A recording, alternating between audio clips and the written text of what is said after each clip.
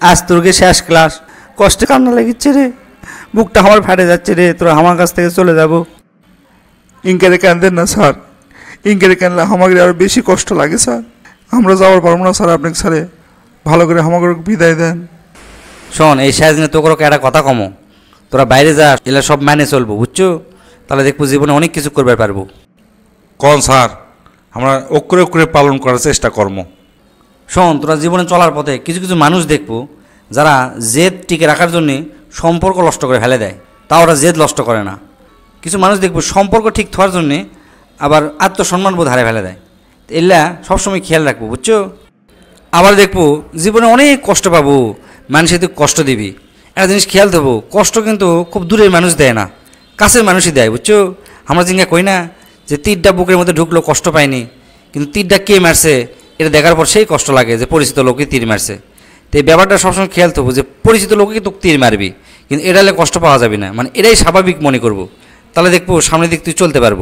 আবার জীবনে তোরা তো বিয়ে শাদি করব। যাক বিয়ে করব। তা কখনো কষ্ট দিব না। তার সাথে ভালো ব্যবহার করব, বন্ধুর মতো চলবো। দিন শেষে তার সাথে যেন মন খুলে কথা করতে পারিস। সেরকম একটা মেয়ে বিয়ে করব, বুঝছ? আর একটা জিনিস খেয়াল করব, তারা কিন্তু তার বাপ মা ছেড়ে তোর কাছে আসবে। তোর কাছে যেন শান্তি পায়। সেই চিন্তা করব। আর ব্যাপার খেয়াল করে দেখিস। বেটি ছেলেরা কিন্তু সামান্য একটা মার্কেটত গেলে পুরো কাপড়ের দোকানের অর্ধেক কাপড় উল্টাপাল্টা করে ফেলে দেয়। তারপরে এটা পছন্দ করে।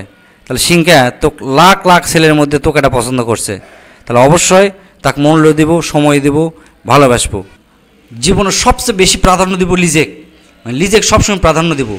তাহলে দেখব অনেক দূর যেতে পারব। আর পরিশ্রম করব। আলসেমি করা যাবে না। তোর পরিবারক সময় দেবো ঠিক মতো আর যেগুলা আউল ফাউল বন্ধু আছে, স্বার্থপর বন্ধু আছে, এলা বন্ধু থেকে সবসময় দূরে থাকব। আর এটা সবচেয়ে সিরিয়াস কথা, অহংকার কোনো দিন করব না। অহংকার মনের মধ্যে আসছে তার মানে তুই শেষ। আর যা কিছু চাবো সব কিছু আল্লাহর কাছে চাবো। মানুষের কাছে যেন ভুলেও চাস না।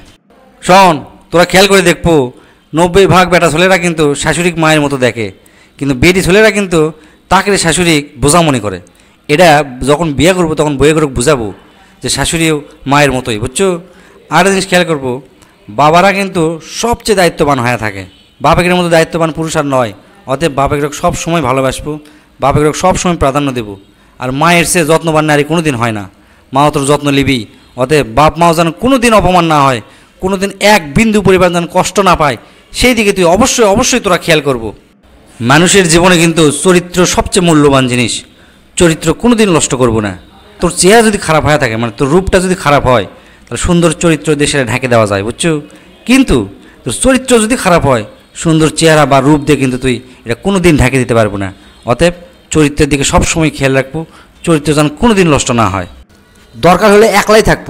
তাও তোরা মিথ্যা ভালোবাসা, মিথ্যা হাসি, মিথ্যা আশা, মিথ্যা বন্ধুত্ব এগুলা কখনো করব না এলার থেকে একশো মাইল দূরে থাকব।